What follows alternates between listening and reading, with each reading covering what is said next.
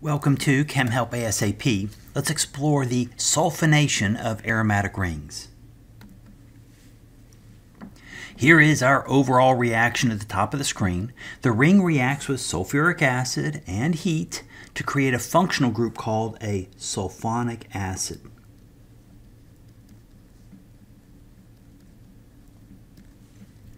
which is an R SO3 H group. To the far right is a more complete line angle structure of the sulfonic acid. We see sulfuric acid all over the place in organic chemistry. There are actually many different forms of sulfuric acid. Of course, there are different concentrations, different dilutions of sulfuric acid in water, things like 1 molar or 10%. Concentrated sulfuric acid in the upper right or upper left is 98% sulfuric acid, with the remaining 2% being water. More reactive forms of sulfuric acid are denoted as fuming sulfuric acid or oleum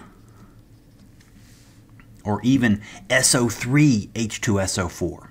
Okay, that's a long way to say that sulfuric acid can be encountered in different forms. For an EAS reaction, we need highly reactive forms with as little water as possible. The active electrophile in sulfonations is formed by protonating sulfuric acid with another molecule of sulfuric acid. This process forms a leaving group. We can then kick out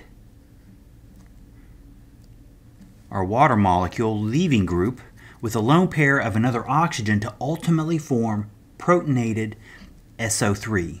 This is a really good nucleophile. Let's finish the video by showing the mechanism of the sulfonation itself. The aromatic ring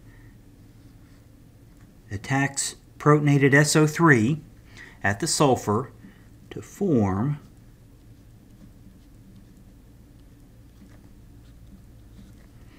our familiar carbocation intermediate.